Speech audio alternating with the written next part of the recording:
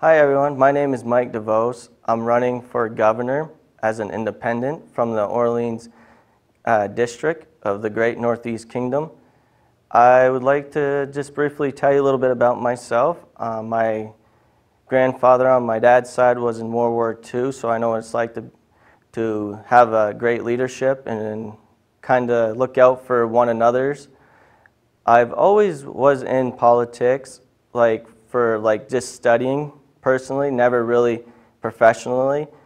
Um, I did it because I wanted to help myself and my community with certain laws and stuff like that that was going around in the state of Vermont.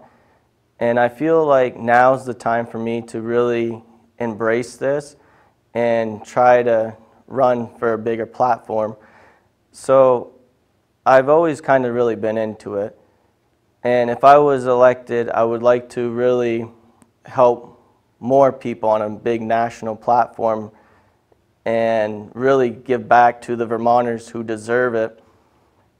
Um, so with that being said, I would like to encourage everybody to go out to the polls and vote. And if you can't for whatever reason, medical or whatnot, um, do the mail-in voting. But just remember, everyone's vote does count and never think that it doesn't.